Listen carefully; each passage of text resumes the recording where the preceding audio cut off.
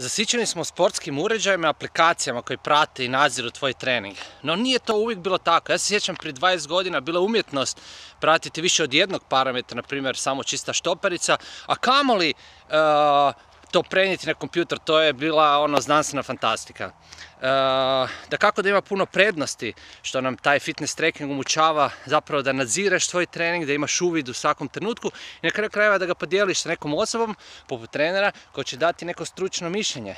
No međutim, pretjerano samopouzdanje i pretjerana ovisnost o fitness trackerima može biti loša. Na primjer, znamo ono ljudi uh, koji treniram zaborave recimo sat i onda ne zna izvesti trening. Ne zna više procijeniti što je 5 minuta, što je 15 minuta.